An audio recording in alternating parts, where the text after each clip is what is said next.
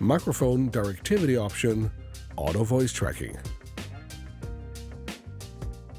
In this segment, we're going to cover one of the microphone directivity options that are available to choose from when using the ADECIA solution with the RMTT tabletop array microphone.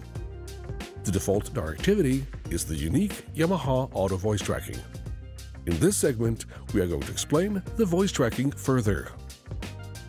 The auto voice tracking option is the most versatile and commonly used. The microphone tracks all human voices 360 degrees around the unit's position.